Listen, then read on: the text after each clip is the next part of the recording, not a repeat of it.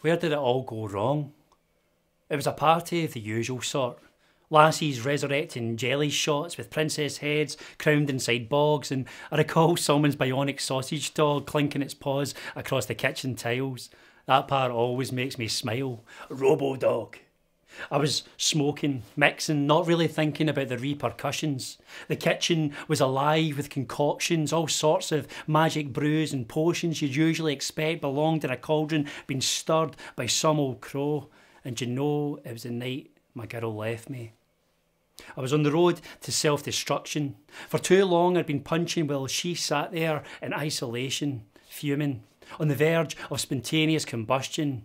I was only 27, human, a slave to the raves and hedonism, but with hindsight, I was a lapsed adolescent. I became reclusive, hitting the antidepressants, lost my job to non attendance and blamed it on a poor immune system. Could no longer afford the rent surfed on a friend's couch and left before they could ask any questions.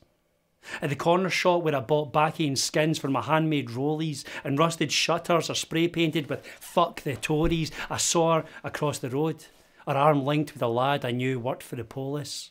Final straw and all other proverbs.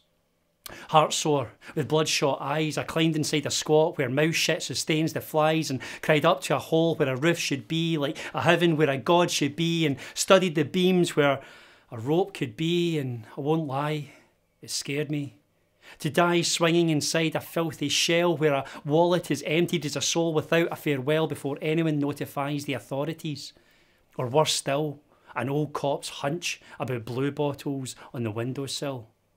Now, I'm not wanting your pity or charity. I was the creator and destiny of my own ruin and elimination.